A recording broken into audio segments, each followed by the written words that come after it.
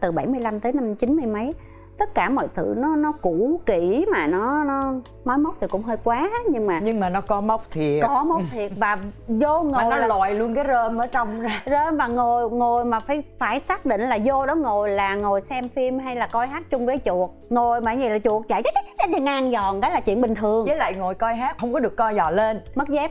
Mất dép. Không Mất phải là dép. vì bất lịch sự mà là vì thả cái giò xuống mất tiêu rồi dép. Mất tiêu đó đó thành ra là phải phải còn còn muốn co chân lên. Tại hồi đó chị cũng hay có thói quen ngồi nước lục lắm co chân lên thì nè là mỗi lần muốn co chân lên là phải thủ cái dép lên cầm trước chứ thôi là mất. Với lại nhiều người á coi là sợ chuột á co chân là vì sợ chuột chuột dữ lắm luôn. Nhưng mà vui lắm cái máy micro nó thả từ trên trần Đúng xuống rồi. dĩ nhiên cứ dí theo máy đưa cái miệng dí dí ra. hứng máy mà máy nó chưa có rơi. Cái vụ đó chị bị tai nạn một lần. Hồi chị học ở trường sân khấu xong năm 87 năm năm 88 89 90 chị đi diễn thì cũng cái tình trạng mà micro treo á. Có một cái cảnh là chị chị đứng chị múa chị múa ở trên cái bục. Anh Mai Quỳnh đóng cái vai người yêu đứng ngắm cái người mình yêu, mình múa trong cái ánh đèn photo thì mình đứng mình múa, đang múa rất là thì thì cái micro treo ngay trước mặt này, thì anh Mỹ Quỳnh mới cầm mới cầm cái micro ra để chống chỗ cho mình múa. Ờ mình múa xong rồi mình đang đứng tạo dáng cuối cùng, cái ổng thấy mình múa xong rồi ổng buông cái micro ra, là một cái bọt không biết ông giùm tôi hay ông chơi tôi nữa. Ông- tự dưng cái ra thành một miếng hài xuất sắc. Ờ, mà lúc đó đang bi chứ có hài đâu. Cái hồi đi diễn ở ngoài phú quốc năm đó chị nhớ là năm 89 diễn ở trong cái doanh trại quân đội. Thì sân khấu ngoài trời khán giả rất là đông kể cả con nít nữa. Diễn thì tới cái cảnh đó. Thì thì lúc mà mình cởi đồ ra thì lúc đó là đương nhiên là phải có một cái bộ đồ da. Người ta không có hiểu thấy mình lột đồ ra. Hô hô thế là con nít nó nhào lên nó nhào lên nó nhào lên sát chân mình luôn vậy nè nó nhào lên sân khấu. Mà mình đang muốn một nước nó nhào nhào nhào nhào lên. Mà trong đó chạy lính nữa. Đàn ông không à. Cô trưởng đoàn cô bạch lan á mới đứng ở trong mới cầm cái micro. Đề nghị bảo vệ và các anh bộ đội à, mời các em nhỏ xuống khỏi sân khấu để cho các chú coi. Mà cô nhấn mạnh cái chữ coi. Rồi mình đang mình đang múa mình Mình- chới giới luôn. mắc cỡ luôn đó Ừ. ừ. mắc cỡ không mà để cho các chú coi một Để cái chú muốn, muốn muốn muốn muốn đứng hình luôn vậy đó mặc đồ da. Thì ở đèn nó chiếu lên á thì nó hay bị bóng bóng bóng bóng cái cái cái lớp da này nè. Thì đưa nó bò lên nha chù cho quánh phấn về một quánh từ với chân quánh ngược lên nữa trời. Quánh từ quánh ngược quánh ngược lên nữa trời. Ngắn dạ mộc mạc quá chị đó ha. dễ thương vô cùng luôn.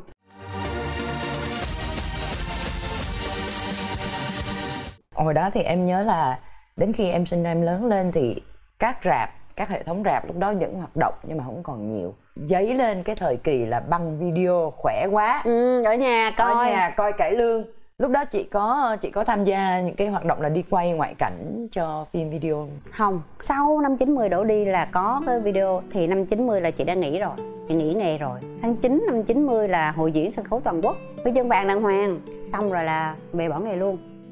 Huy chương vàng xong ừ. nhưng đáng lẽ cái huy chương vàng đó phải là một cái đòn bẩy. Với mọi người thì thế. Nhưng mà chị hồi đó là nó có nhiều lý do. Nghỉ luôn một mạch 15 năm. Không léo hánh tới nghề không léo hánh tới ai. Thậm chí là cắt đứt toàn bộ luôn. Không có liên hệ với một người nào trong nghề hết. Vừa nghỉ xong thì vướng vào cái chuyện gia đình, rồi chồng con nè rồi đủ thứ mình phải tìm cách mưu sinh. Tại vì nhỏ lớn mình chỉ học nghề diễn thôi. Không biết làm gì hết, mà làm cái gì cũng hư đến đến năm à, 1999 chị ly dị mới đi lo cho cuộc sống của mấy mẹ con. Cũng làm đủ thứ nghề mà không có gì ra cái gì tại vì mình không biết làm gì hết. Cho đến năm 2005 có một người bạn hồi xưa đi diễn chung á mới gọi điện. Alo chị ơi chị uh, chụp cho em một tấm hình chân dung một tấm hình toàn thân rồi chị đem lên đây cho em. Ủa vụ gì? Ai? Mà mà em là ai? Em là hoàng mai nè chị. Chị chụp hình cho em thì chị đem lên đây. Ủa chụp hình chi? Chị đem lên đây cho em thì em cast chị vô phim. Ủa tao đâu có làm nghề nữa đâu. Chị cứ lên đây đi chị cứ lên đây đi. Lúc đó chị chị không nghĩ là mình sẽ theo nghề lại hay là đi phim hay gì hết mà mình chỉ nghĩ là ờ lâu quá mình không gặp ai. Chị chỉ nghĩ là đi gặp bạn bè để vui thôi. Lên thì còn mai nó mới ngồi với một anh nữa. Anh đó là anh thạch ngà lúc đó làm trợ lý cho phim em tin là suốt 15 năm trong nhà chị không có mỹ phẩm cho nên là lúc chị lên là coi như là trên người mặc gì chạy đi đó đó. Lúc đó chị ở chợ mà y như một cái bà bán rau cải ngoài chợ gì đó. Cái thấy thằng mai cái thằng mai nó ê chị chị em đây nè. Thấy mặt nó thì mình nhớ à con nhỏ này biết rồi nhớ rồi. Thế là xề xuống nói chuyện anh thạch ngà ngồi đó. Bây giờ á, em á, tạm thời khoan diễn nha. Bây giờ em cứ làm background thôi. Còn chúng mới đi qua đi lại chứ ống kính coi có dạng không có biết diễn không á. Rồi từ từ tính. Nghe tự ái. Chị đứng lên chị đi về liền về nhà cái nhắn máy. Mai, chị không có tính quay lại nghề đâu nha. Đừng có kêu chị nữa. Ok, đi chơi cà phê gặp pháo, chị em nói chuyện thì được. Đừng có nói chuyện làm nghề với chị. Cái là thôi, cái mình lại lo buôn bán ngoài chợ. Đầu mấy ngày sau, cũng con não mai. Chị chị lên lát với em. Thì lúc đó là đang casting cho cái phim ngã rẽ cuộc đời. Lúc đó cái người casting cho cái phim đó là anh nguyễn hậu. Lên thì anh nguyễn hậu mới quăng qua cuốn kịch bản. Anh nói đầu bà thoại giùm tôi mấy câu này coi ờ cuốn thoại thoại ba, ba, hai ba câu gì đó. Bà nói cho tôi biết hồi xưa giờ bà có học nghề không? Cái mình cũng khai ờ học dạy dạy đó diễn vậy đó. Okay. bà thoại tới câu thứ ba rồi tôi biết bà thứ dữ rồi.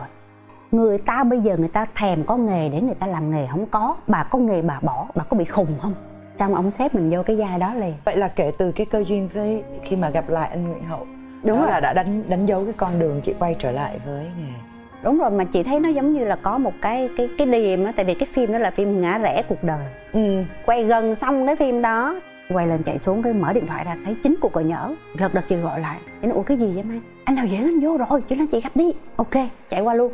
Mới đầu á là nó tính giới thiệu chị để vô một cái vai gọi là vai thứ. Rồi qua cái gặp anh lê ngọc linh.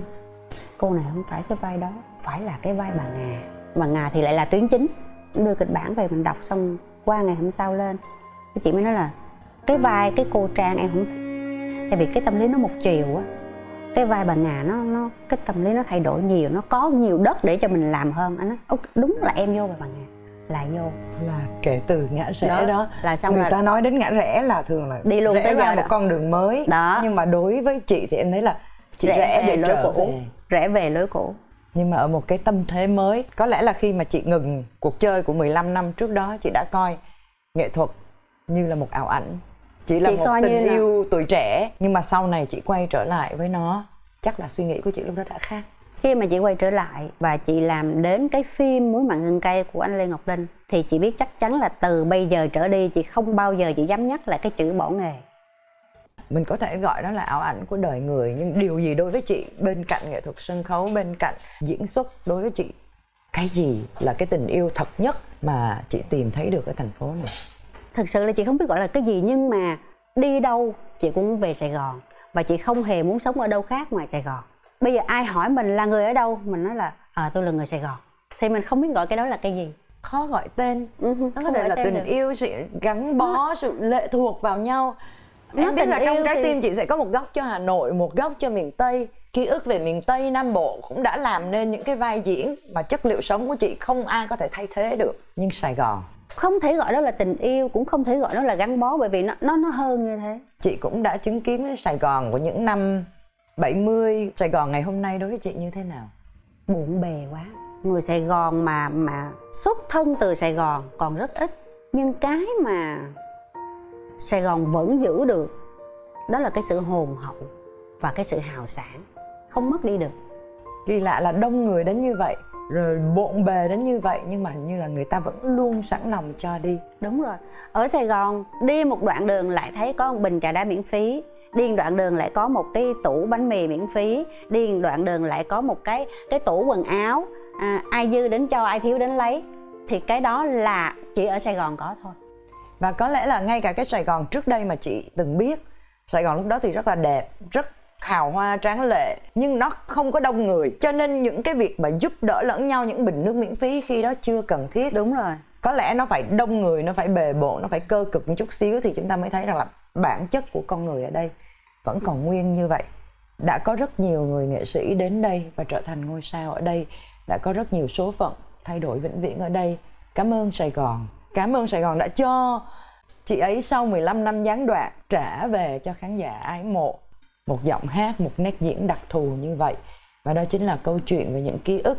Dẫu buồn, dẫu vui thì ngày hôm nay nhìn lại vẫn tươi đẹp. Xin cảm ơn chị đã ghé qua nếp quán của ký ức tươi đẹp. Và hẹn gặp quý vị lần sau cũng với ký ức tươi đẹp trên kênh của MCV Media. Đến đây thì Trác Thúy Miêu và nghệ sĩ Bích Hằng xin chào và xin hẹn gặp lại.